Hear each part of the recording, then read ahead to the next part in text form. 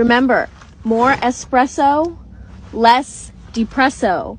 More caffeine, less stressing.